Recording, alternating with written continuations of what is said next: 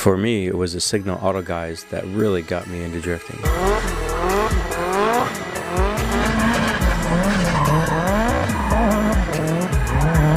Back in like 2003, they did a drift exhibition with drift sessions in Hawaii. I remember seeing a video. I was just blown away. Not necessarily by the driving, but a combination of the way the car looked and the driving. These guys shipped over their cars from Japan to Hawaii, man, they put on an insane show. These things just oozed style. Everybody wanted a car that looked like this at that point. I don't think the style ever really went away. So a lot of us still want our cars to look like this. These are prime examples.